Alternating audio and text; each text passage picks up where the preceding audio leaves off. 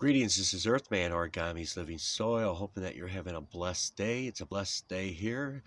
Uh, this is the day that the Lord has made, and we are truly blessed to be alive and, um, you know, have family, have, a, you know, food, uh, food, you know, or whatever your circumstance. Maybe you don't have food. Or just, you're blessed. You know, God loves you, and don't worry. You know, Jesus will take care of you one way or the other. And um, Today we're going to talk about sprinkling uh, mycorrhizal onto your root system uh, before placing it into the soil.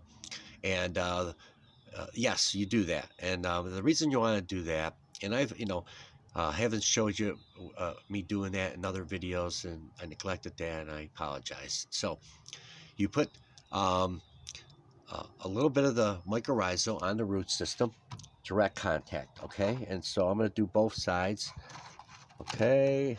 All right. And um, there, we can really coat it nice. And then I'm going to put some in the cup underneath where it's going to, you know, make contact. I'm going to make sure I, I you know, put a, a really good amount in there. And what's going to happen is that mycorrhizal is going to colonize your root system. It's going to take about three weeks to a month before it really starts to kick in. But they're going to coat your root system with uh, a beautiful slime that's going to protect your root system from uh, pH fluctuations and uh, you know different pathogens and stuff. And also, um, um, they're going to reach out and um, grab nutrients and moisture and return them to the root system.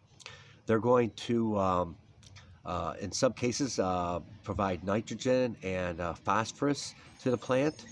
Um, and uh, it's just so many other amazing functions uh, for the immune system and just the plant's general health and growth. Um, I use endo, uh, several different type of endo, mycorrhizal. I don't go and use like 40 different types or and then throw ecto in there too. And you know, I mean, if you want to do that, God bless, but I wouldn't mix endo and ecto together. That, that's not a good idea. They kind of defeat each other, but that's a whole different subject.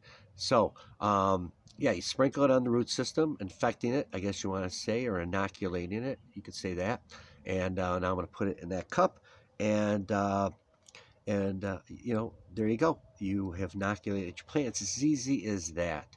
Um, and there's liquid mycorrhizal inoculants I'm that are good. I'm, I'm creating one myself, um, and um, you'll see that it's just amazing stuff. Um, but uh, more on that in other videos. So may God bless you this day. Um, and uh, just remember that it's good to be alive. And uh, I, I, really hope that you and your family are blessed and that your plants will grow big and, and, and to His glory.